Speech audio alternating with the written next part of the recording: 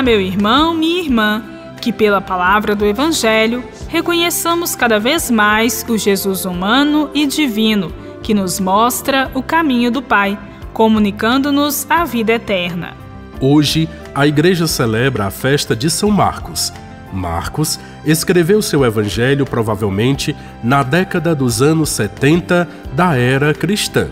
Os evangelhos de Mateus e Lucas foram escritos cerca de 10 a 20 anos depois, seguindo-se o Evangelho de João já na última década do primeiro século.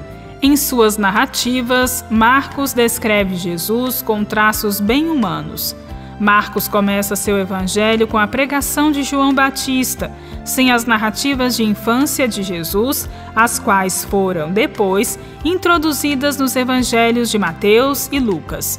Marcos caracteriza-se também por encerrar seu evangelho com a visita de Maria Madalena ao túmulo de Jesus, encontrando-o vazio. Os demais evangelistas terminam seus evangelhos narrando diversas aparições de Jesus ressuscitado.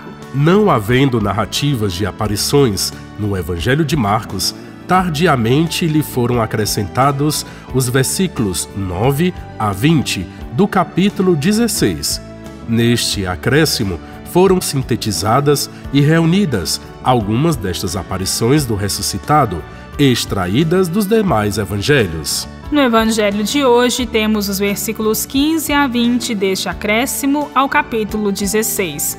Neste texto, elaborado a partir das narrativas de Mateus e Lucas, os discípulos são enviados em missão por Jesus ressuscitado. Ide pelo mundo inteiro e anunciai a boa nova a toda criatura. Em seguida, são dados alguns sinais extraordinários que acompanharão os que crerem. Em conclusão, é mencionada a elevação de Jesus ao céu e o bom sucesso da missão dos discípulos, confirmada pelos sinais. A leitura deste texto hoje se adapta ao tempo pascal, em que o enfoque é a ressurreição de Jesus. Inspirados pela própria vida de Jesus, os discípulos que com ele conviveram se empenharam em anunciar ao mundo a novidade de Jesus com sua mensagem de amor, justiça e paz. Hoje, Jesus vivo e presente em nossas comunidades comunica-nos seu amor transformador que nos impulsiona na construção de um mundo mais justo e humano. A grande novidade de Jesus é a presença do Deus de amor no mundo, sustentando e fazendo florescer a vida. Bíblia, Deus com a gente. Produção de Paulinas Web Rádio. Apresentação: Frei Carlos Souza e irmã Bárbara Santana.